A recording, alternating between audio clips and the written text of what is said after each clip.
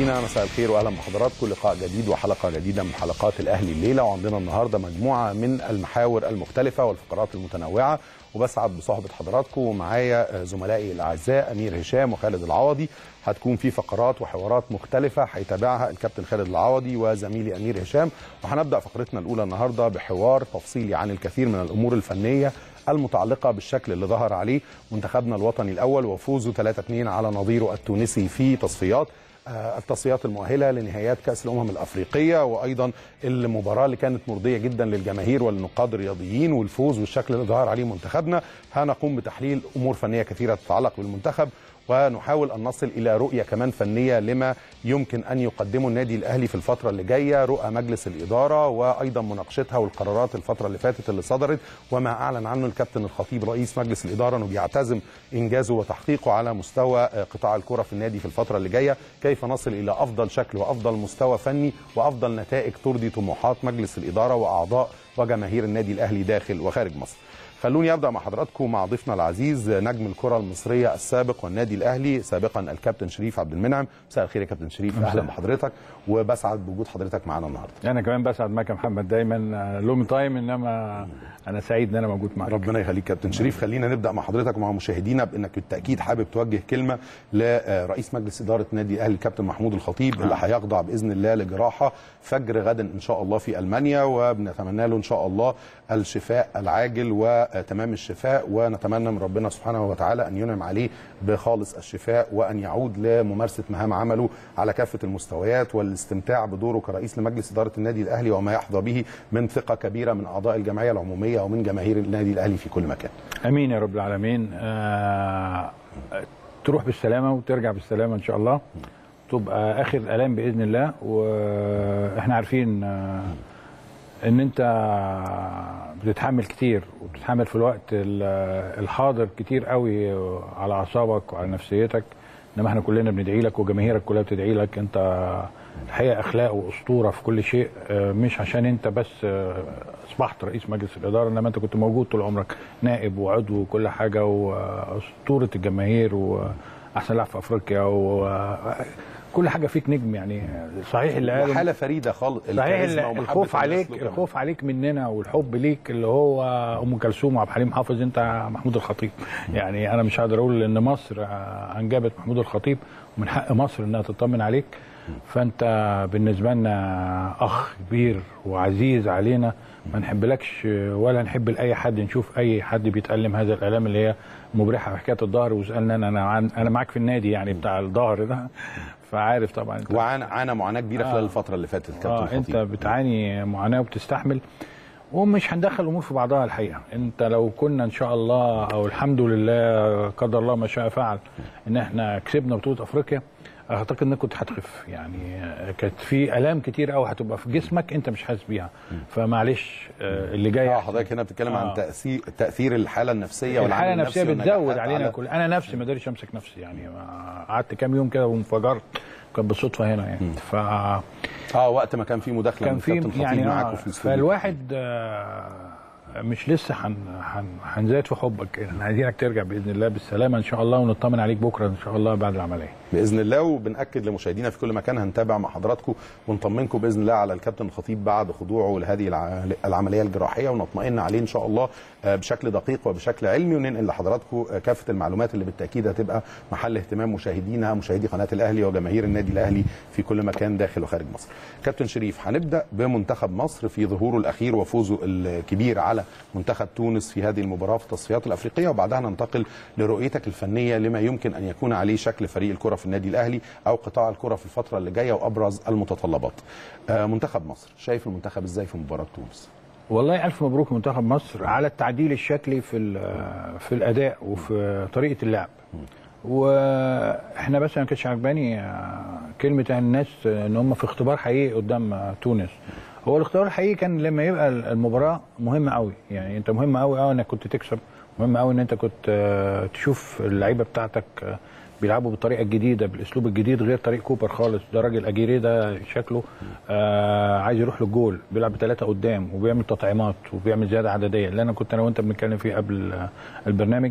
إمتى أنت توصل من الأطراف وتعمل العرضيات وتلاقي أكتر من واحد عامل زيادة عددية جوه ال 18 عشان كده يبقى عندك فرصة إن أنت تحرز أهداف دايما من ضربة ثابتة أحرزت عن طريق لاعب من ال defender هو اللي بيزود على اسوتن بسليف كوليبالي لما بيطلع أو سعد سمير عندنا بنفس الشكل. النادي الأهلي هو منتخب مصر. منتخب مصر هو معظمه النادي الأهلي. الشكل اللي بيلعب بيه النادي الأهلي وبيكسب بيه وبيوصل بيه نهايات البطولات أعتقد إن هو يعني العماد الأساسي لمنتخب مصر. هي عملية عملية واحدة. إنما التفكير اللي عمله مستر اجيري إن هو يلعب بالشكل ده وبالوجود ال- اللي جوه ال 18 وبالتحرر لبعض اللاعبين. وبيجرب بيجرب أحد الأماكن آه، التطعيمات في ال- الشكل الهجومي في شكل نص الملعب. بيشوف ال- الشكل ال defender بتاع نص الملعب ال half back اللي هو بيدافع شكله إيه وال half back اللي هو بيعمل زيادة عليه شكلها إيه. عنده جرأة إن هو ياخد لعيبة أنت شايفها في المقاولين العرب زي محمد طاهر مثلا ياخد آه، يجيب جرأة تانية انه يجيب لعيب من أحسن لعيبة آسيا ويقعده احتياطي ويخليه للتطعيم. يعني عنده لغة آه، أنا كنت أتمناها موجودة عندي في الأهلي إن يبقى عندي الجرأة دي حتى نف... يعني رغم الإصابات اللي عندي ورغم الحاجات اللي أنا عديت فيها دي كلها ورغم التركة اللي إحنا وارثينها آه، أو وارثها مجلس الإدارة بتاعت كابتن محمود خطيب. والمجلس بتاعه. الفترة اللي فاتت دي انا إحنا ما بنحاسبكش أنت ولا مجلس إدارتك انت إحنا بنحاسبك على اسمك الكبير بصراحة يعني أنت محمود خطيب والمجلس الإدارة ده اسمهم كبير قوي. آه عمرو فاروق آه، وزير آه آه، درندلي ومرتجي خبرات كبيرة في المجلس خبرات. ودينامو يعني الدينامو بتوع المجلس كله الوجوه الجديدة جرحي و و وجوهر و آه دكتور رانيا علواني ضماطي كابتن جوهر نبيل دكتورة و- رانيا خبرة كبيرة موجودة قبل كده. مع حفظ الألقاب آه، للجميع الضماطي والجرحي وكل كل المجموعة يعني. كل الناس طارق كل الناس آه، يعني آه، لما تيجي تشوفهم بعد ما نجحوا كده آه، كوادر. والنادي الأهلي كله كوادر حتى في اللعيبة إحنا. إحنا كنا نتمنى بس إن الكوادر بتاعت ال- ال- السنين كلها اللي بتعدي من أيام مصطفى عبده والخطيب وزيزو وحسن حمدي ومصطفى يونس وكرامي وثابت الله يرحمه. الناس دي كلها وصفت الله يرحمه الناس دي تبقى بتصب عند آه، جوزيه وأبو تريكة وبركات وأحمد فتحي ومحمد يعني شوقي. بص لا أنا بقول لك ليه كده يا محمد؟ بقول لك الأسماء ليه؟ تلاقيهم كلهم آه لعيبة جامدة قوي ومكملة لبعض. كادر جامد جدا لما تتفرج على شكل ال- ال- الفرقة. ما ما تلاقي من عبد الباقي وفتحي ومصطفى يونس وحسن حمدي وماهر همام بقى هحطه معاهم طبعا لأنه لحق بالفترة دي. واكرامي وثابت و ونص ملعب زي طاهر الشيخ هبتدي لك بيه لأن بحب المهاجم وصفت الله يرحمه ومختار وجمال عبد العظيم جنب مختار وزيزو الناحية الثانية ونخش نلاقي بقى محسن صالح وصفر عبد الحليم قلنا و كان في مين تاني في نص مش فاكر. مصطفى عبده وخطيب. وبعدين كابتن عبد الله الشافي كابتن البحطيطي والسمري الناحية الثانية وبعدين يجي شيف عبد المنعم من الناشئين يفتح الباب لبقية اللعيبة. فكانت جيل آه، أول مرة كان هم اللي ياخدوا بطولة أفريقيا سنة 82 وأنا لعبت نص البطولة وحصلت الحادثة. دول ناس فيهم ال- ال- ال- المقومات لفرقة ليها شكل البطولة. كانوا على طول بياخدوا الدوري وياخدوا الكاس ما تعرفش نسيبوا مرة للزمالك الزمالك ياخدوا لظروف معينة حاجة كده. الناس دي آه، شكلهم شكل بطولات. تحطهم في حتة ما يخرجوش بره تاخد الستة اللي قدام هم بتوع منتخب مصر. يخش عليهم علي خليل وحسن شحاتة وفاروق جعفر. مفيش غير كده. ما عندناش حاجة والباقي احتياطي كله من أي نوادي تاني ف دي اللعيبة اللي أنا ب... اللي أنت تقدر تراهن عليها. اللعيبة بقى اللي جابها كلامك اللي بدأت بيه الحلقة آه. كابتن شريف بيقول إنه الخبرات الحالية الموجودة سواء في أصحاب الخبرات الأكبر سنا في مجلس الإدارة والأكثر خبرة أم جيل الشباب. وخدنا منهم أمثلة طبعا على سبيل المثال للحصر مع الكوادر الرياضية المتميزة مع الخبرات الكبيرة اللي بيقودها الكابتن محمود الخطيب بتفرض عليهم تحدي أو علت سقف الطموحات عند الرأي العام والشارع الأهلاوي وجماهيره وأعضاء النادي إن الناس مت- متخيلة الفترة الجاية ومتوقعة وعلى يقين إن المجلس ده هيخلي الإدارة مستوى عالي جدا في النادي. وأولها كرة القدم. بص هقول لك على حاجة. كابتن محمود قبل ما يبقى رئيس نادي رئيس النادي كان هو وكابتن عادل القيعي دينامو. الناس تحب تروح تقعد معاهم ويمضوا على بياض. ولا أنا غلط مش ده اللي. كان بيحصل؟ فلما يبقى المو... النادي انت اللي عودت الناس على كده ان قمم اللعيبة اللي موجودة والتالنت بتاع اللعيبة اللي موجودة كله بيبحث إن هو يجري يكون موجود. في الفترة اللي ما كانش فيها محمود الخطيب وكان يمكن كابتن عدلي موجود ب... بشكل أو باخر. النهارده هيثم عرابي بيخش من الشكل اللي هو بتاع الاربع خمس سنين اللي فاتوا. يعني كان راجل برضه اشتغل جاب لك قبل كده. هم بي هو بيتباهى بان هو كان طبعا جاب مليك آه، إيفونا. إيفونا. حلو قوي إحنا عايزين نفس ال- الوتيرة اللي هي وتيرة عادل القيعي وال- والشغل ال- الشاغل اللي هو كان بيحصل خلينا نتكلم في في الإنجازات والنجاحات. إن النهارده الشارع المصري عايز الشكل اللي هو كان موجود كان عامله له حسن حمدي والخطيب والناس دي هم بي الناس كلها بتبحث إن هي تجري تقعد معاك إن هي تبقى موجودة معاك إن هي تبقى عندك هنا موجودة. ده شكل كان مريح. فعشان كده أنت لما تبقى لامم وعظمك كله كل لعيب يجي حتى من أفريقيا يتمنى إنه الأهلي الأول. مش عايزه الأهلي يروح في أي حتة ثانية فهي دي كانت دي ده الشارع اللي هو انت اللي عملت له الحكاية دي.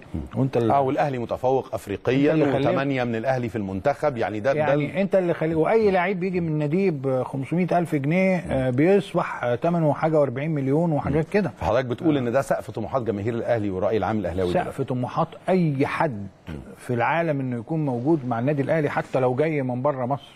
يعني حتى لو هو لعيب يعني ليه اسم.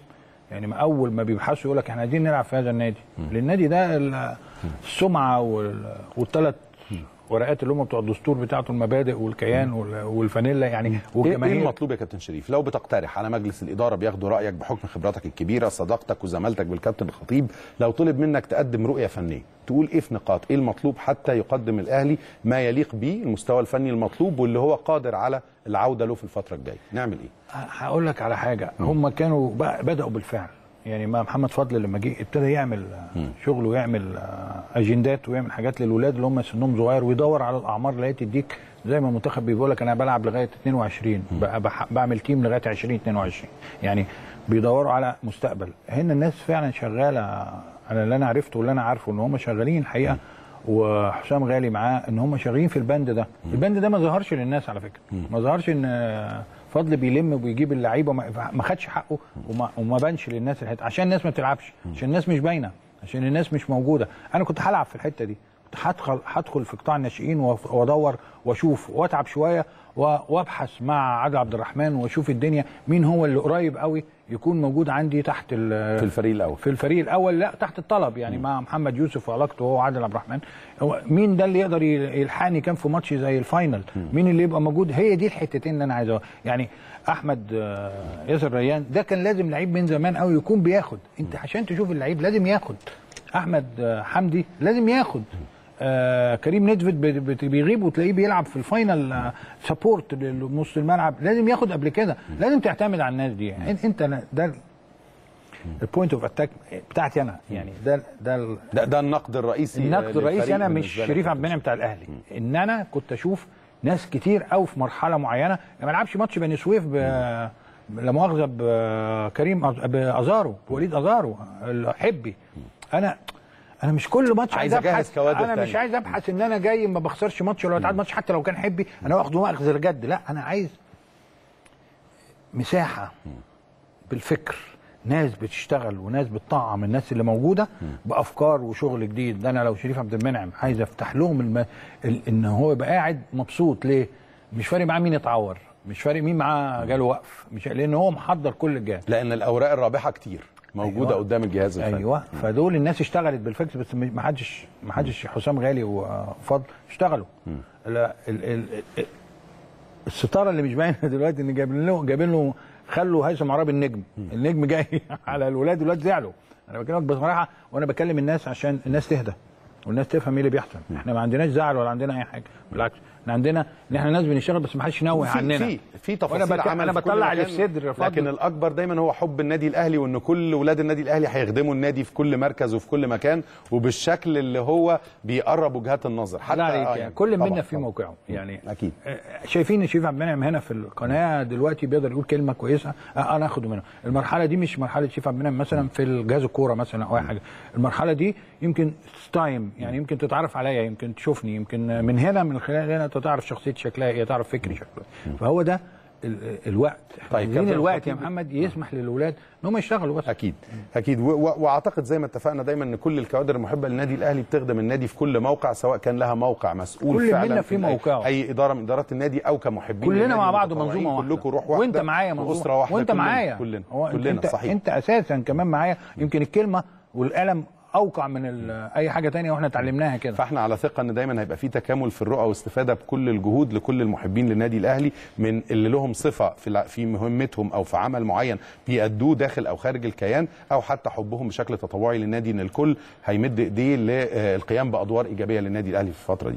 كابتن الخطيب ومجلس الإدارة طرحوا رؤية كنت حضرتك موجود مع زميلنا العزيز كابتن سيد عبد الحفيظ وفريق الفريق المتميز في الاستوديو التحليلي وكابتن الخطيب اتصل آه، كان في مداخلة هاتفية وشارك معاكم وقال إن في رؤية لإعادة بناء فريق الكورة. والكابتن خطيب ومجلس الإدارة الحالي مركزين جدا على مستقبل الأهلي وده متمثل في اهتمامهم بالناشئين والأكاديميات.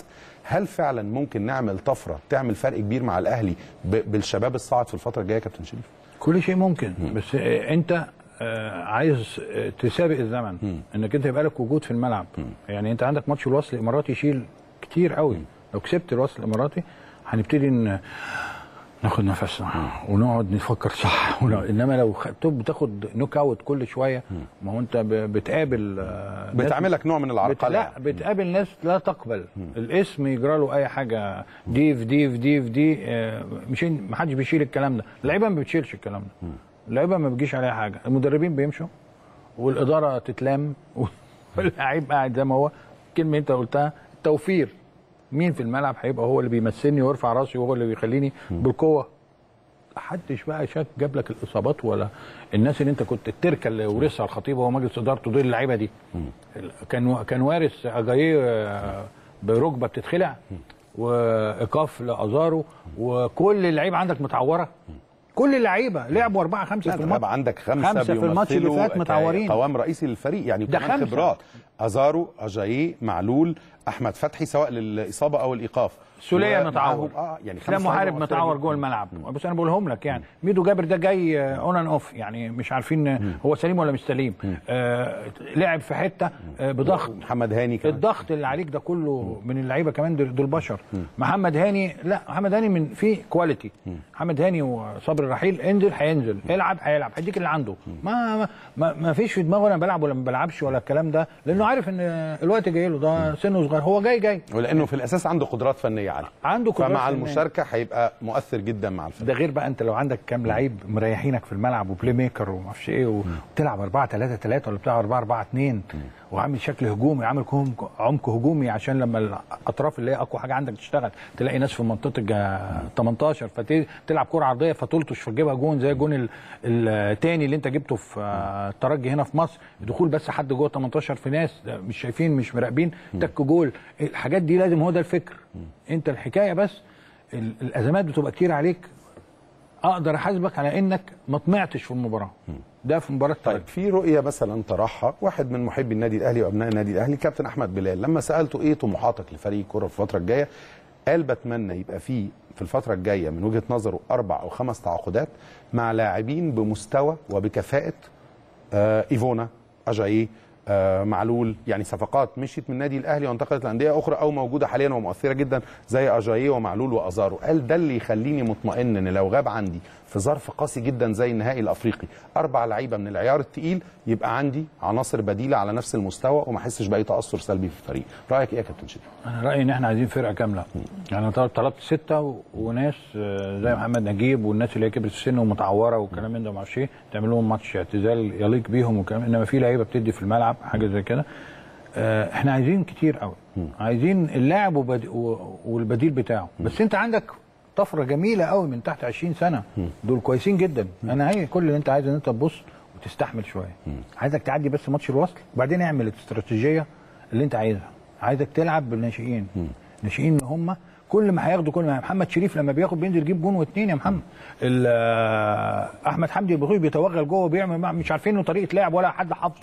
لعيبه ما حدش مح- ما حد- أنت مش هتحفظها. أنت ممكن تكسب الزمالك 3 4 الماتش اللي هتلعبه لهم مثلا أو الماتشات اللي جاية كل ماتش تلاقيك بتكسب 2 3 عشان في وجوه جديدة أنت حطيتها جوه الملعب. حتى الأوبوننت اللي هو اللي هيلاعبك مش مش متعود عليهم. فبيشوف شباب وجري في الملعب يقدروا ينفذوا لك لو أنت عندك فكر. آه، إداري أو فكر آه، ملعب أو فكر أي حاجة دول اللي يقدروا ينفذوا كل الأفكار اللي عندك. دول اللي يقدروا يشيلوك اليومين دول. دول اللي أنت تيجي تقعد قاعد تقول إيه؟ لا أنا عندي فلان. وعندي فلان. قبل ما يرجع فلان.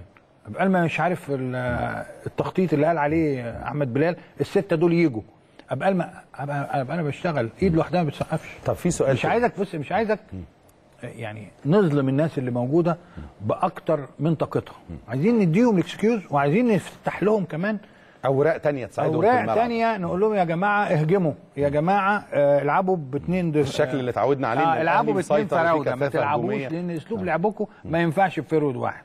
طب خليكم قلدوا بقى بعد ما كانوا بيقلدونا. شوفوا الراجل طيب المكسيكي في بعض اللاعبين في الفترة اللي فاتت رجعوا بعد ما كانوا بعيد عن النادي الأهلي للإعارة أو لأي سبب. والراي العام في حالة حيرة كابتن شريف فيهمنا رأيك فنيا فيهم. الناس شافت إن الأسماء اللي هقولها لحضرتك دي على سبيل المثال يعني أحمد الشيخ وعمرو بركات وجودها في الملعب ولو لدقائق قليلة كان بيعمل فرق. يعني إن عمرو بركات بينزل الفترة اللي شارك فيها بينزل يحرز هدف بينزل يشارك في الكثافة الهجومية الضغط الهجومي بعدين يلاقيه بعيد. إيه اللوغاريتم ده وإيه السبب ده وإزاي نخلي الجهاز الفني يقدر يطوع إمكانيات لعيب؟ الرأي العام كله بيجمع إنه لعيب عالي جدا فنيا بس لسه مش قادرين نستفيد بيه. بص اللاعب هو السبب. مم. أنا ياما عملوا فيا في النادي الأهلي. ما حدش كان يقدر عليا.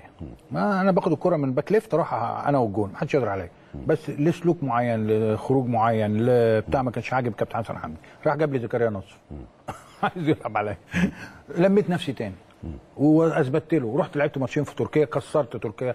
حي... حي... دخلت في تحدي مع دخلت. تحدي مع نفسي. بقيت تركيا دفع فيها 185 ألف دولار. الدنيا كلها بتجري ورايا. مش عارف.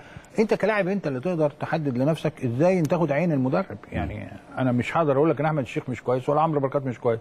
إنما هم آه، ما زالوا حاطين نفسهم في الشوية اللي عندهم.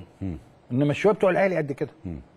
آه إزاي. بقى اللاعب يبذل مجهود يطوع نفسه تبقى للفريق؟ إزاي تبقى قد كده؟ مش الحتتين اللي عندك هعمل الثابتة وهعمل اتنين- 20 طب دي دقيقة. قضية خلافية في العالم كله. ده شغل جهاز فني وشغل لا، مدير كورة. ما انت فرقتك مش كاملة يا محمد. ولا شغل اللعيب. محمد فرقتك مش يعني ريال مدريد بتتنقى بالواحد وبرشلونة بتنقيهم بالواحد. الحكاية آه انت مين؟ الحكاية انها آه وجود في الملعب انت بتقنعني. انت بتقنعني أنا ك تفرض نفسك على على الجهاز الفني آه انت. بتقنعني قدامي أنا ما أقدرش أشوف حد غيرك. أنا م... إزاي أنتوا اللعيب ده ما بتلعبوهوش دي ما وصلتش إزاي كارترون ولا محمد يوسف ولا سامي قمصان ولا الجهاز المعاون الأجنبي بتاع ولا الراجل اللي بيعمل لهم التأهيل. قال له لا أنا عندي ناس شغالة زي النار ما تبصوا لها. أنا عندي في شكل معين انت كمان الظروف بتحكمك عليه. انت عمرك عديت في الظروف اللي عدى فيها النادي الأهلي السنة اللي فاتت في كل المباريات دي؟ ده انت عندك كام ماتش ناقص من من الدوري؟ هتلعبهم إزاي إحنا؟ لسه ما لعبناش حاجة في الدوري انت تقريبا هتلعبهم إزاي؟ دول يعني. كمان في اندماجات وأفريقيا فهتبقى و... في جدول مضغوط انت. هتبقى تاني في جدول مج... يعني في ضغط ومطلوب منك إن أنت البطل أنت مش مطلوب منك تتعادل ماتش. أنت لو تعادلت ماتش البلد كلها بت... بت- بتنام في بدري. نقد وهجوم. البلد بتنام بدري مش بت... بيحصل هجوم. البلد بتبقى زعلانة. البلد مش طايقة نفسها لو الأهلي اتعادل أو اتغلب. دي حقيقة. لأن هم خلاص خدوا على مستوى معين. وأنت اللي عملت لهم ال A class ده؟ مفيش حد تاني. أنت بتلعب ال... ال... الكبير آه والصغير ما بتشوفش قدامك. هم عايزين النوعية اللي انت حضرتك اتكلمت عليها ال quality من اللعيبة اللي هي تضمن لهم السوبر أداء جوه الملعب. التدويرة بقى من جوه الملعب شكلها إيه؟ ده شغل الجهاز الفني مش شغل أنا وأنت. إحنا آه إحنا نشوف إن إحنا نلعب باتنين فراوده زي ما أنا بقول كده. هو بقى شايف إن العناصر اللي عنده ما تقدرش تديله دلوقتي نروح نرجع تاني للتدعيمات. يعني هنا حضرتك فنيا شايف إن الأنسب للأهلي في الظرف الحالي وفي المجموعة الموجودة الأوراق الموجودة عند الجهاز الفني حاليا هي اللعب باثنين فراوده. ده غير اتنين فراوده تدويرة من جوه اللعيبة نفسها. فك لي بقى حسام عاشور وسولية. فكهم. شوف لهم شغلانة تانية غير إن هم 4 2 3 1 دي. شوف لها تانية. شوف لهم طريقة تانية. ما هو دول أنت موقف حسام عاشور دي حتته ودي الجنينه اشتراها بتاعته. يطلعك يمين يطلعك شمال وياخد الإيقاع ويعمل خلاص حرر بقى سولية قدام شوية. طلعه جنب خليه يقوم بدور هجومي مع خلي. حد جنب وليد سليمان عنده كورة فوتبولر وليد يسند عليه ويديله تاني ويبعت ويشوط بشماله وده. خلي التدويرة من جوه. يعني خليك انت بتعمل شكل الناس حاسة بيه. وعندك الإمكانيات. بس انت اللي ال excuse والعذر اللي أنا بديهولك كجهاز فني. انك انت على طول لعيبتك مصابة. انت مش عارف تاخد من لعيب زي حمودي كده ما أعرفش إيه ماتش على بعضه ولا 20 دقيقة ولا half time مش عارف تاخد. وبعدين بقيت بت, بت يا عيني بتيجي على اللعيبة تقول له اصلك أنت ما بتعملش ال- الواجب الدفاعي بتاعك. أنا مش بتاع دفاع أنا أنا راجل dribbler وبروح ألعب. طب هل دي حاجة محتاجة إن المجلس الفترة الجاية يشتغل عليها أو يلتفت لها يا كابتن شريف؟ فكرة إنه الناس بتسأل كمان حجم الإصابات والغيابات وفترات العلاج طويلة في النادي الأهلي. فالناس ده الطبي مؤثر على الشغل لا بص الفني. الجهاز الطبي يعني زي ما يعني بتقول لك إيه الجهاز الطبي إزاي اللعيبة بيجي لها شد كتير؟ إزاي؟ ما هو ده الراجل آه، هتخش بقى آه، محمد الشناوي آه، مستواه مش قد كده عشان بيخش في جون ولا حاجة فاهم؟ بقى لك لا الراجل مدرب الحراس المرمى اللي كان موجود أحسن من مدرب الحراس ومين اللي جا؟ الناس بقت بتتدخل في كل حاجة ومش عارفة تديك الروشتة. اللي انت بتكلمني عنها دلوقتي. ما عندهاش تفاصيل ولا روشتة ولا ايديهم في النار زي الناس اللي هي موجودة. بكلمك بجد والله مش بدافع عن حد. انما في برضه عليهم حاجات لازم يفكروا فيها ولازم يعملوا ابجريد لنفسهم هم كجهاز فني. لأنه جزء من نجاحات الكيانات الكبيرة في العالم في عالم الكورة زي النادي الأهلي إنه دايما الشغل الطبي سريع جدا جدا ودقيق عشان يرجع لي الأوراق اللي هي لها قيمة فنية واستثمارية عالية. بسرعة جدا للملعب. أتمنى مدى يكون. عندهم المعدات أسرع مدى علمي طبعا. أتمنى أن يكون النادي الأهلي بيفكر في المعدات الطبية السريعة اللي هي تقدر وأتمنى أن اللعيب لو جاله حاجة في الركبة يعملها في مصر وما يسافرش ألمانيا وجا يكون في ناس هنا آه يقدروا يرجعوا زي باريزي كده ما رجع من كأس العالم. آه في كان دور ال غضروف 16 ورجع تاني وظروف. ورجع لعب في النهائي. عايزين إحنا بدل ما بنروح في إيطاليا وألمانيا والحتت دي إحنا عايزين يكون عندنا أتمنى الشكل ده للمنتخبات اولا وللأندية بعد كده. ويا ريت النادي الأهلي أكيد عنده فرصة كبيرة قوي وعنده اندماجات كتيره قوي النادي يعني حضرتك الأهلي. شايف إن لازم اهتمام بكل التفاصيل دي في الفترة دي؟ عشان ما ترجعش تقول الدكتور اللي إن ما عندك يبقاش في أي أسباب تانية ما جديدة ما ينفعش نسيب- تقول نسيبها من غير علاج للمشكلة. ما ينفعش تقول إن الدكتور اللي موجود ده الدكتور اللي موجود ده هو الدكتور الثاني هو الدكتور الثالث وهو الدكتور الرابع. هم نفس ال- ال- الدراسة نفس الشكل بل بالعكس هو عندك أنت بيقابل حالات كتير قوي فهو متميز. في المنتخب بيتقابل حاجات كتير قوي فهو متميز. بيجي له من الأندية في المنتخبات لعيبة جاية متعورة في المنتخبات يعني عشان هو يأهلها ويجا فلازم تبقى ال- الكواليتي بتاعه هو من أحسن الناس الموجوده الحكاية إن إحنا كمنتخبات وكأندية ما نطلع بعثات بره إيطاليا. هيجرى إيه لما تطلع لك اتنين تلاتة دكاترة في الحتة دي؟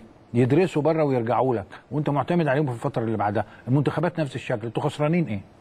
ده أنت لو عملت أي بروتوكول ورفعت سماعة تليفون على إيطاليا مركز الأولمبي مش عارف إيه للتحضير والعلاج الطبيعي وما عايزين نبعت لكم أي حد يقول لك you're welcome يا يا ريت.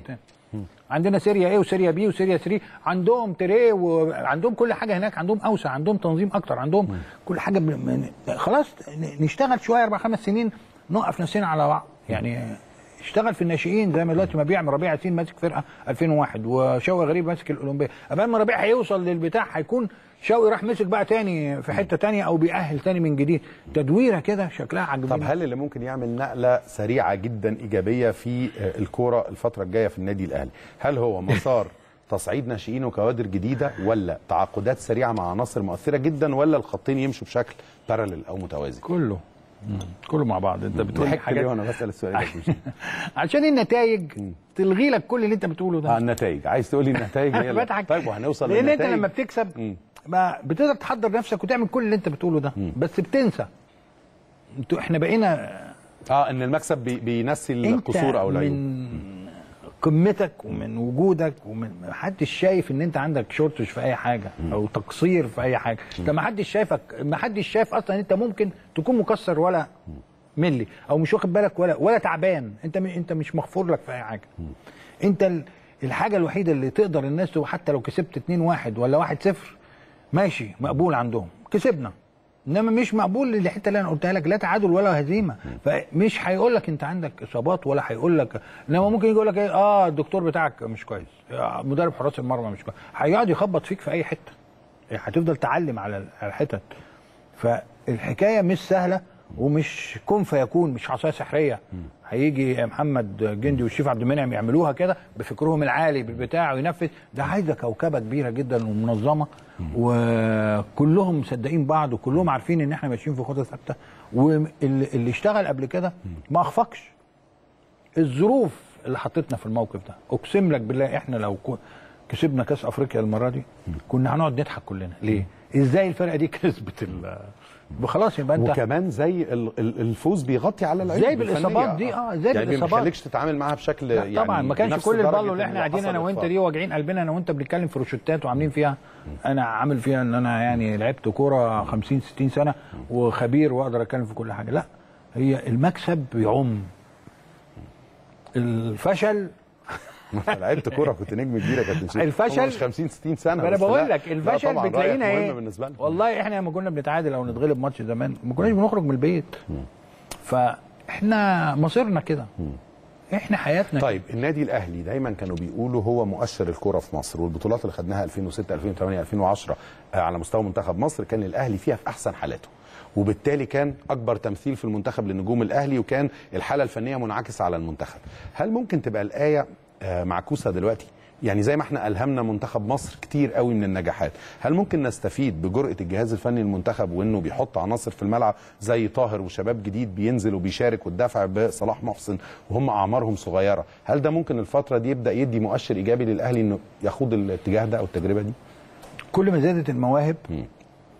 والسن الصغير اللي انت قلته واللعيبة الواعدة اللي انت بتتكلم عنها دي كل ما زادت ال- الإمكانيات ليك والوجود في الملعب آه تقدر تقابل فرق كبيرة زي آه، المغرب زي آه، تونس آه زي الجزائر دول فرق آه عندهم ال- ال- ال- الفترة دي بقى عاملين زي إسماعيلية عندك انت ولادين بال- بالمواهب وباللعيبة لدرجة انت ابتديت تفكر في معلول من تونس وتفكر في النقاز وتفكر في فرجاني يعني انت ابتديت تبص لهم ليه؟ يعني انت لازم نبص تحت رجلينا دلوقتي اشمعنى إحنا بنبص هناك وما بنبصش عندنا؟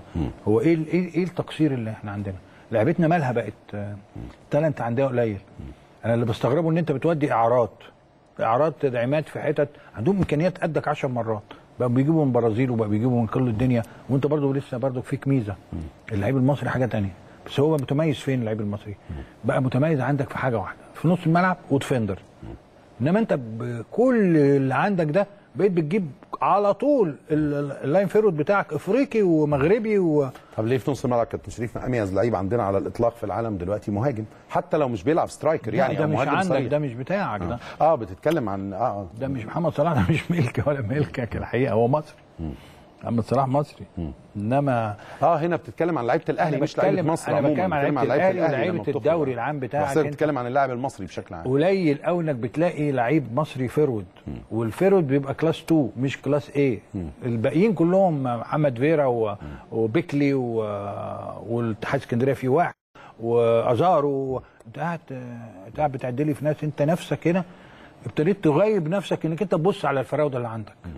ابتديت تبني ليه ليه غايب الفرود من الدوري أنت اللي بتعمل كده هو- شبه في طريقة الأداء. آه، أيمن شوقي حسام حسن أيمن منصور آه، يعني الهدافين اللي هو بيخطف بيجيب الجون من نص فرصة. في في زي ما أنت قلت اتفضلت قلت عليهم وفي أقوى منهم كمان. يعني فين ال- فين الناس اللي هي عندها الملكة في الحتة دي وعندها سرعة الاستلام وسرعة التفكير وسرعة الترجمة لأهداف؟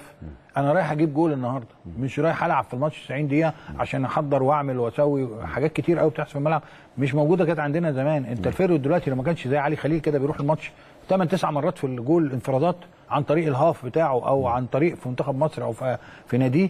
هو ده الفيرود اللي أنا طالبه. السرعات اللي موجودة. السرعة دي مش موجودة غير عند وليد أزارو دلوقتي. هو اللي بيعمل لك العمق الهجومي ده. لما ما يبقاش موجود تحس ان انت إيه؟ في غربة. تحس ان البديل بتاعه بتحاسبه ان هو مش زيه. انت اللي لازم توفر البديل ده. انت لو عندك حد من الناشئين وشايفه تجيبه تعلمه وتقعد توريه الولد ده وتمرنه إزاي يعمل ويستلم و... اتعب يا أخي شوية عشان توصل للمكانه اللي انت نفسك فيها. اتعب. ادام الناس اختاروك وشافوك انك انت تقدر تبني وتربي وتخلي فيه نفس الشكل ونفس الطريقة اللي النادي الأهلي ماشي فيها في حياته. يبقى الكوادر اللي هي موجودة هي اللي تقدر ترجع النادي الأهلي لنفسه من جوه. مش لازم اشتري. يعني انت النهارده ما تطلبش من انك انت تروح تشتري من بره. تشتري من جوه. شوف من جوه. ابني بنفسك ابني سواعدك. خلي عندك عين. خلي عندك وقت. ما تقوليش اصل أنا ببص على 13 و14 و16 أنا الوقت ده أنا عندي من 18 سنة. إحنا كنا أنا عيال عايز عندنا- اللعيب اللي ممكن أنا بكرة عندي- أحتاجه في ال first team وينزل يلعب. محمد أنا كان 17 سنة وبلعب درجه أولى. كرامي 17 سنة لعب درجه أولى. إحنا ما عندناش جوان دلوقتي غير مصطفى شوبير والناس دي. وابن ولد تاني حتى ما بيجيش يتمرن. إحنا عندنا عندنا شو إحنا عندنا مشكلة في الأجوال. عندك عايزة ناس تشتغل وترجع انت تاني لل... لل... للحاجات اللي فاتتك. في ناس بتمسك الأجهزة هي اللي بتقدر آه تتكلم على قديمه على تاريخه على أجنبيته على استفادات من ناس آه جم. عندك أسماء كبيرة قوي نقلوا خبرات لمدربين نقلوا من خبرات لينا كلنا. طبعا خبرات كبيرة. لينا في الملاعب. حتى إحنا كلعيبه اتعلمنا. فكل ده عايز إن أنت تصبه. مش عشان تقول النهارده بعتوا فلان يمسك الجهاز. هو ما فيش غير فلان ده يجي من هنا. الناس بقت بتتكلم على الناس. مش عارفين هم لو موجودين هيعملوا إيه. يقول لك هو فين فلان؟ وفين فلان؟ وفين مش عارفكم الدنيا فيها إيه أو الدنيا موجودة ده عايزين خبرات موجودة تقدر تترجم في الوقت ده. أسرع الروشتات والعلاجات اللي بيسموها إيه؟ المسكنة. عايز خطة عمل ناجحة جدا يا كابتن شريف بس حضرتك بتقول إنها ما تحتملش وقت طويل. يعني آه، ان عايز مسكنة. حلول آه، تأثيراتها سريعة جدا. مسكنة بنتائج. وعايز التوفيق من عند ربنا كمان معاك يبقى في الفترة الجاية دي. إن شاء الله. بإذن الله. طيب إحنا طبعا المحاور دي اتكلمنا عنها ما بين رؤية مجلس الإدارة وقطاع الكره ولجنة الكره في النادي بقيادة الكابتن الخطيب وما سينتج عن سياسات العمل أو برنامج العمل لإصلاح أو إعادة بناء حسب تصريحات رئيس مجلس إدارة النادي الأهلي لفريق الكره في الفترة الجاية بالتنسيق مع كافة الكوادر المكلفة بالمهام المختلفة في قطاع الكره في النادي. إن شاء الله نصل لأفضل النتائج اللي تكون مرضية للجميع على مستوى الأداء الفني وعلى مستوى المردود والنتائج على المستوى الدولي والمحلي. كابتن شريف خدتنا سريعا للحديث عن النادي الأهلي وإحنا كنا بدأنا بالمنتخب وهنختم بيه الجزء المتبقي من هذا الحوار. مقارنة سريعة جدا بين المدير الفني الحالي والسابق مستر أجاري مستر كوبر لأن في ناس قالت والله إحنا مش مطمنين. أصل العروض الجميلة اللي شفناها الفترة اللي فاتت مع منافسين مستواهم أقل كتير من منتخب مصر لحد الاختبار الحقيقي. أعتقد إن إحنا أدينا بنفس درجة الإجادة قدام تونس. رأي حضرتك إيه؟ لا الراجل الأجنبي اللي كان موجود قبل كده كوبر ده ما كانش شايف لعيبة في مصر. هو كان جايبهم كلهم من بره. يعني هو معتمد على الناس دي. وكان ماشي في نور الله. يعني هو بيلعب defence كده ومش عايز يخش فيه جول. وكان آه، أحمد آه، محمدي وعلي جبر في قمة أدائهم. الحقيقة يعني. شايلين بلاوي. والحضري. شايل حجازي. حجازي. وجبر، آه. لا أنا بتكلم على حجازي وعلي وجبر. جبر آه والراجل اللي هو ال standard بتاعنا أحمد فتحي شايل له الدنيا بيوقف له أعظم ونجات ليفت في غانا ومانا وكل حتة اللي بيلعبوها. فهو ده وعنده راجل آه، الساحر محمد صلاح اللي وصله كأس عالم ووصله نهائي أفريقيا و... فالراجل ده ملوش دعوة كان باللعيبة بتاعت مصر. ده ما جاش منتخب مصر. ده جاب أجانب اللي بيلعبوا بره مصر. هو اللي لعب بيهم وما دخلش عليهم حد دخل عليهم كهربا باين. كهربا جه راح السعودية برضه نفس الشكل. كل من هو لمس إنه يبقى محترف يعني ده الراجل اللي موجود هنا بقى دلوقتي ده ابتدى زيه. بس بقى بينزل الماتشات الدوري وكان ويشوف ال- النواقص عنده فين. عرف إن عنده نواقص جنب محمد صلاح. هو ده اللي معطله إنه يروح يجيب جول. هو مش كل مرة محمد صلاح هينا- هينادي على نفسه يعمل sprint والكرة تبقى ضالة وهو اللي يترجمها ويخليها هي اللي تيجي جول. لازم ال- الراجل اللي عنده vision أو رؤية يثبتها. الراجل ده الفرق بينه وبين كوبر زي من هنا لأسوان. قال لك يخش فيها جون زي ما أنا عايز. حتى التظبيطه اللي بيتكلموا عنها اليومين دول اللي هو إيه ال defence بتاعه يتظبط. آه يخش فيها جونين بس أنا أجيب ثلاثة هي دي ده البرازيل دي الفرقة اللي بتلعب جون ده ألمانيا. راينر هولمان كان بيقول كده وهو مدير فني للأهلي. أنا بكسب 4 2 و5 أنا بكسب 4 2 و5 3 و4 3 ويخش فيها زي ما يخش. بس أنا هاخد 3 point في الآخر. ال... الشكل ده يظبط بعد كده الديفنس بتاعه. يشوف التطعيمات الراجل بيبص في اللعيبة اللي جوه الدوري طلع نجوم جاب واحد من المقاولين العرب المقاولين العرب كام في الدوري دلوقتي؟ على فكرة اللعيب ده كمان طاهر ده اتكلم عنه في حوار سابق معانا المهندس شريف حبيب وقال إن المقاولين عنده كادر مميز جدا وقال عنده لاعب بيعد أو واعد جدا وبيتم يعني بيتوقع له مستقبل قريب جدا إن شاء الله من نجمنا محمد صلاح. قال أنا أتوقع إنه ياخد نفس المسار. ده محمد طاهر ده؟ آه، على طاهر كمان. لا الشاب ال- محمد طاهر ده يبان لما يبقى جنبه محمد صلاح ولاعيبة تانية كويسة. إنما هيبقى جنبه لعيبة مش قد كده هيظهر. إنما مش هيبقى ما هو لسه صغير. يعني مش على صغير. بداية. لا أنا كنت صغير.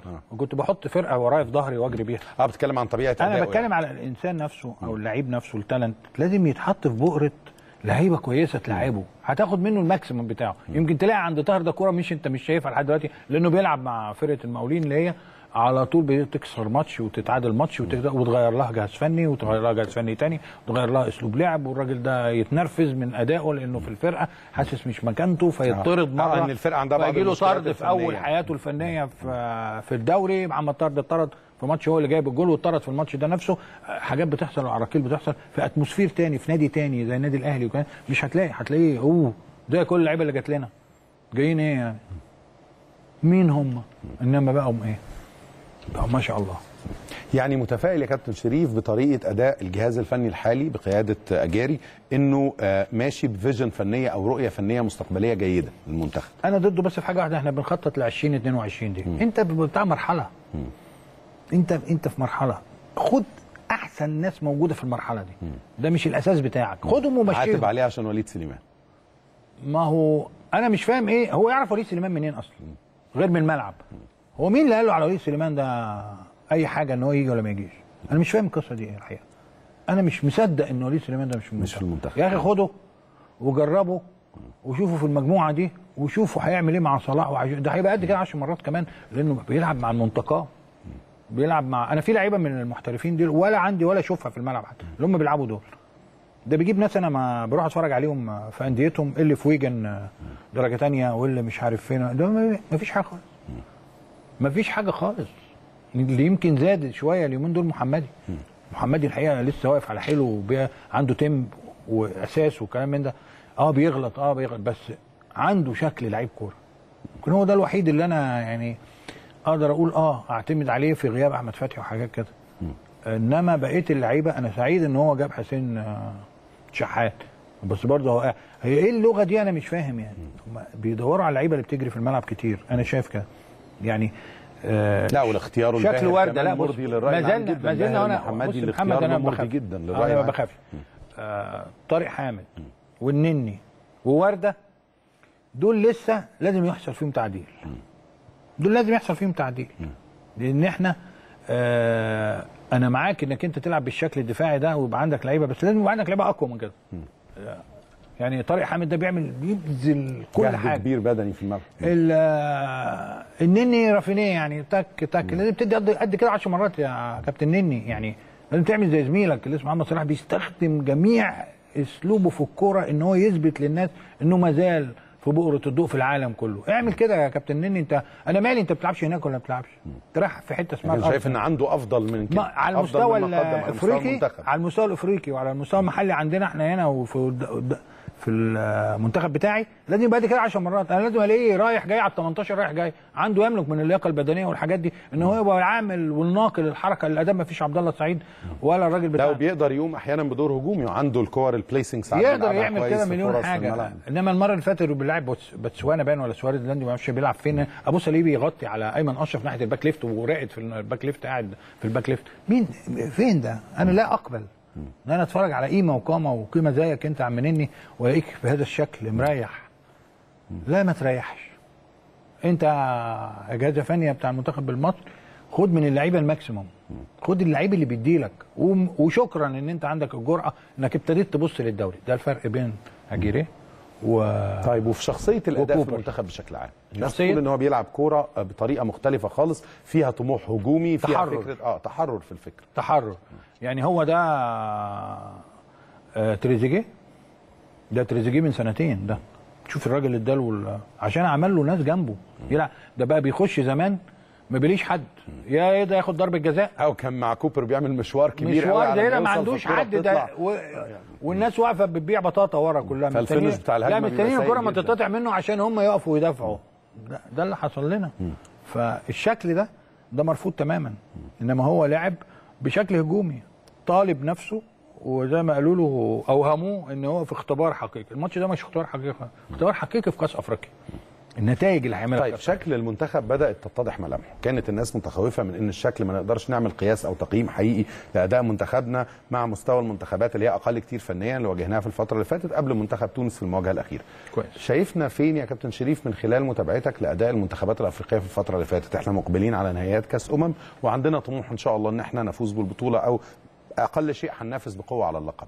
إحنا فين مقارنة بمستوى المنافسة ومستوى المنتخبات الأفريقية حاليا؟ سادس منتخب. سادس. بعيد شوية. مين قبلنا؟ مين ومين اللي شايفه قبلنا؟ عندك كاميرون صاحبة الأرض نيجيريا كوت ديفوار غانا مغرب. تونس والجزائر خد واحد منهم أدي ستة. وهلم جرى بقى أنا شايف البطولة هتبقى صعبة جدا. يعني انت المنافسة فيها انت صعبة انت جدا. أنت شايفها أصعب من البطولة اللي فاتت؟ أنت لازم عندك معجزات في نص ملعبك ده. انت لازم تجيب play maker من أي حتة. يعني تشوف الحكاية دي. هل صالح جمعة ده هيرجع ينفع يرجع عندنا تاني في الأهلي ويلحق نفسه؟ وتبتدي الدنيا تبص له تاني وكده.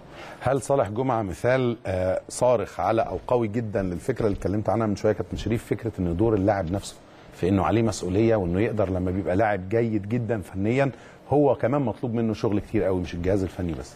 والله يدور على الصحبة. الراجل ده لو عنده صحبة جيدة هيقدر يروح برضه يتمرن زي ما رجع المرة اللي فاتت كده في الجيم ويرجع ويشوف عضلاته ويشوف حاله ويخش ينغمس بقى مع لعيبة تاني. وعنده فرصة رهيبة تاني. محظوظ حظ غير عادي. إحنا اللي كان بيطرد مننا ما كانش بيرجع تاني. خصوصا إن صالح جمعة أول ما بيرجع ويشارك ويبان في الملعب إنه مؤثر مع الأهلي بيبدأ المنتخب يبص عليه فورا. أي حتة في يعني العالم عنده هو لعيب يملك الإمكانيات. يملك يملك الفارق بينه وبين لعيبة تانية. هل هيقدر يطلع الفرق ده؟ ولا هيخش في دايلامه التالنت نفسها لا هيخش في دايلامه إن هو مش ماشي مظبوط وكلام من ده ومش مظبط نفسه. هتبتدي العضلات تشد وهيبقى في في شكل لعيبة. ما بتديلكش زي 30 دقيقة أو 40 دقيقة أو 45 دقيقة وتبقى مرحلة هف- هفنش بيه الدوري ده وخلاص ما حدش هيشوفه. السلام عليكم وعليكم السلام روح بقى نرجع تاني لحتة الإعارات والبيع وال... هو مش عايز يجي مش عايز يجيب نفسه. لو عايز توجه في ختام الحوار ده يا كابتن شريف نتمنى طبعا كمان منتخبنا يكون في أفضل حالاته وان برنامج الإعداد لمشاركته آه، مشاركة المنتخب في نهائيات كأس الأمم الأفريقية القادمة يبقى على أكمل وجه ويستمر فكرة الصعود التدريجي لمنحنى الأداء أو كيرف أداء منتخبنا الوطني والاستفادة زي ما قال كابتن شريف عبد المنعم بكل العناصر سواء كانت عناصر شابة أو عناصر الخبرة الموجودة دون النظر للعمر بل النظر إلى عطاء وجهد كل لاعب في الملعب والفائده المحتملة لوجوده وللاستفادة بقدراته في المنتخب. أخيرا كابتن شريف لو عايز توجه كلمة لجماهير النادي الأهلي مشاهدي القناة عشان حالة الإحباط أحيانا اللي بيبقى مبالغ فيها عند بعض الناس إن إحنا نغير بس ال- المود الموجود عند الناس ده شوية. والله ما فيش أكتر من أنا الأهلي في كل مكان يعني الناس مقدرة حبكم ومقدرة وقفتكم وانتوا حاسين آه، وكنتوا معانا ولامسين الإصابات اللي جت في الفرقة وك... فبلاش آه، نتوهم أشياء مش موجودة فاحنا عايزين إحنا ايدينا في ايدين بعض معاكم وبنسمعكم ونفتح لكم البيبان بقى وتيجوا التمارين تاني وت- وتدوا. ونبقى إيجابيين بس لا في رؤيتنا نبقى للفترة اللي إيجابيين. ما نبقاش آه، ومالناش دعوة بالإدارة ومالناش دعوة بالحاجات دي يعني خلينا في كل واحد في منا في موقعه. انت بتشجع وأنا بحلل لك وأنا بسمعك وأنا بحاول أقرب لك المسافات وانت آه، بتمرن وانت بتجيب لعيبة تدعم بيها خطوط أصيبت عندك.